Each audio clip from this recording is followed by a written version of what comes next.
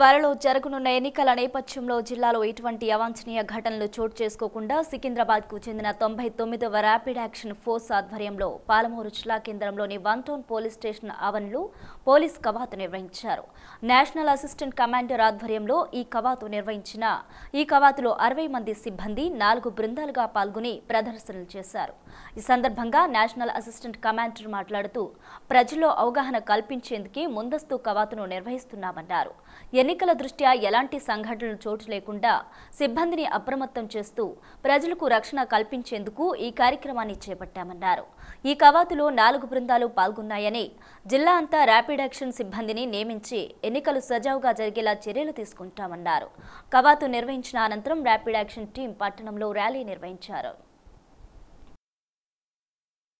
सहायक commander 99 battalion rapid action force Secunderabad से महबूब नगर जिला में एक सप्ताह के लिए परिचय अभ्यास के लिए आया हूँ। मेरे साथ में जो टीम आई है वो चार टीम है जिसमें 60 मेंबर्स हैं और हमारा जब भी कोई भी ज़रूरत पड़े तो हम डाटा को अपडेट करने के लिए हमेशा उस एरिया में जाते हैं और जाकर डाटा को अपडेट करते हैं। हमारे एमएचए के अनुसार जो होम मिनिस्ट्री है उसके अनुसार ये सेंसेटिव में आता है महबूबनगर डिस्ट्रिक्ट और सेंसेटिव में होने के कारण हम वहाँ पर जाकर दो साल के बाद एक बार जाकर वहाँ का जो भी डाटा है परिचय अभ्यास करते हैं। तो परिचय अभ्यास के वास्ते हम लोग महबूबनगर डिस्ट्रिक्ट में दिनांक 10 दस दो अठारह को आए हैं और 16 दस दो अठारह तक हम लोग रहेंगे।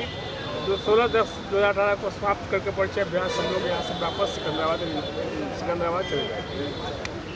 मेरा हेडक्वार्टर हकीमपेट में है। और वहाँ से जब भी कोई ज़रूरत पड़ता है तो हमारा रिस्पॉन्सिबिलिटी जो स्टेट है, वो चार स्टेट में हम जा कर के सब फर्दर ड्यूटी करते हैं। अगर किसी तरह कोई ज़रूरत पड़ता है तो बगैर स्टेट पुलिस का सहायता लिए हुए हम वहाँ पर जाकर ड्यूटी पर तैनात हो सकते हैं। इसी बात से हम लोग यहाँ परिचय अभ्यास करने आते हैं और यहाँ पर जाकर ऑफिसर्स से वहाँ का वर्नेबल जो पॉइंट है, वो देखते हैं। प्लेस देखते हैं और जो भी वाइटर इंस्टॉलेशन है वो देखते हैं। और इसी वास्ते हम लोग एक सप्ताह के लिए पूरा महबूबनगर डिस्ट्रिक्ट में रहेंगे। नारायणपेट, इसका दो सब डिवीज़न है महबूबनगर और नारायणपेट। दोनों सब डिवीज़न में हम लोग परिचय अभ्यास करेंगे और वहाँ के जो पुलिस ऑफिसर्स हैं पब्लिक हैं, सबसे मिलेंगे और ये संदेश देंगे कि जब भी हमारे देश में कानून व्यवस्था बनाना स्थिति होता है, तब रैपिड एक्शन फोर्स की बहुत ही महत्ता होती है। और रैपिड एक्शन फोर्स जो है हमेशा शांति कानून व्यवस्था बनाने के लिए ही खड़ा किया गया है। इसकी स्थापना उन्नीस सौ बानवे में हुआ था और जब से ये अथक बहुत ही अच्छा अपना कार्य कर रहा है, पूरे देश में हमारा रैपिड एक्शन फोर्स का पंद्रह बटालियंस है। पहले दस था, अभी पाँच न्यू रेज हुआ है। ज़रूरत के मुताबिक जिस जहाँ पे एरिया सेंसेटिव है, जो इलाका सेंसेटिव है, उस एरिया के अनुसार डिप्लॉयमेंट आरएफ का पूरा देश में किया गया है। जो सेंसिटिव एरिया है, जैसे उत्तर प्रदेश उत्तर प्रदेश में ज़्यादा सेंसिटिव है, वहाँ पर आरएफ का डिप्लॉयमेंट ज़्यादा है।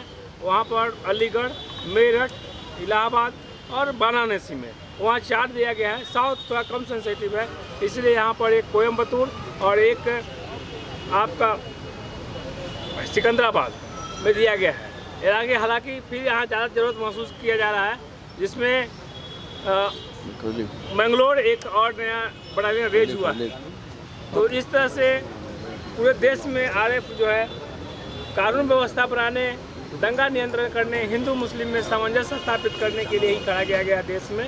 इसके अलावा जब भी प्राकृतिक नेचुरल डिजास्टर आता है तब भी रैपिड एक्शन फोर्स का बहुत ही महत्ता होती है।